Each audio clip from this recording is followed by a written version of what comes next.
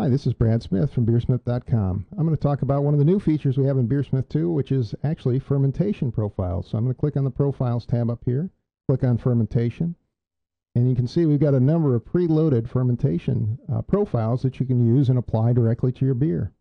And you can actually apply these just by selecting a fermentation profile from within the recipe designer. I'm going to show you how to do that in a minute. But first, uh, let's take a look at some of these profiles. So let's, for, for example, let's look at a uh, single stage uh, ale profile.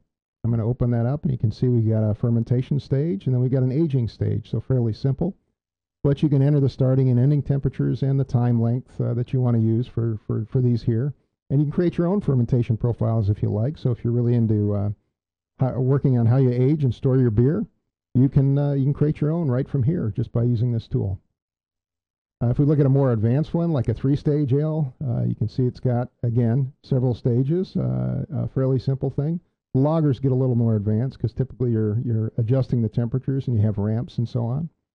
So uh, here we might be doing a diacetyl rest, for example, at 62 degrees for a lager.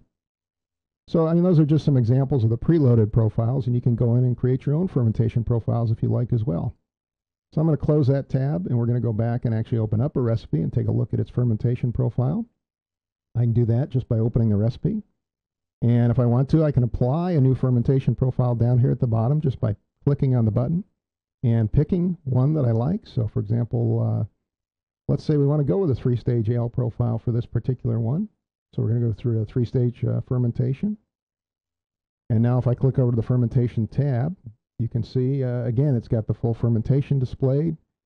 In addition, it's got a lot of detail about the actual fermentation and boil. So here you got uh, parameters on the boil. You can enter measured boil volume and measured boil original gravity, for example. Uh, into the fermenter, you can calculate your brew house efficiency from here. You can enter your fermentation and storage uh, gravities, for example.